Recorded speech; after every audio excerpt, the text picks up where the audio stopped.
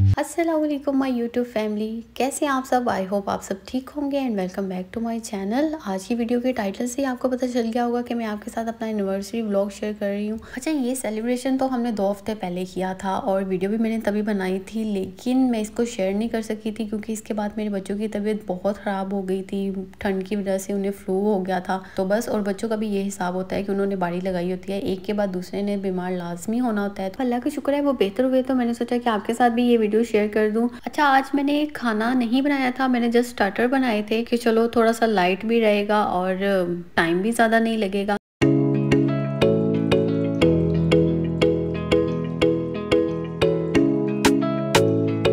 और ये देखें, इन दोनों को मैंने बड़ी मुश्किल से बिठाया था। ये लोग बैठ ही नहीं रहे थे, इन्हें बस बलून पकड़ने थे। बस उसके बाद हमने केक काटा और इस टाइम पे घर वालों को बहुत मिस किया हमने। घर वालों ने भी सेलिब्रेशन की थी, वो क्लिप भी मैं आगे शेयर करती हूँ आपके साथ। ये था मेरा आज का मिनी व्लॉग अगर मेरी वीडियो अच्छी लगी है तो इसे लाइक और शेयर कर दें और चैनल को सब्सक्राइब करना तो बिल्कुल नहीं भूलिएगा। मिलते हैं अगली वीडियो में। अल्लाह हाफिज़।